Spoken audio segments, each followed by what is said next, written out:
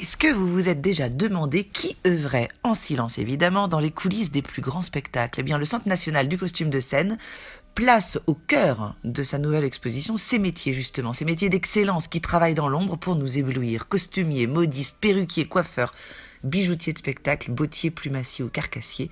L'exposition révèle l'extraordinaire savoir-faire, les techniques et les réalisations de ceux qui sont chargés de la confection des costumes de scène et de leurs accessoires. Alors ici, vous entrez dans les secrets de cette création de mode si particulière parce que euh, elle est faite pour être vue de loin.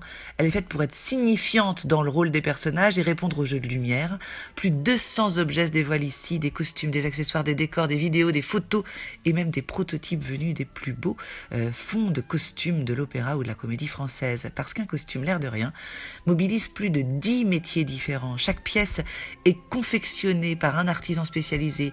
Les perruques, les chapeaux, les décorations, les chaussures, les bijoux, les plumes. Le tout évidemment mis en scène par euh, des auteurs, des acteurs, des chorégraphes et des metteurs en scène.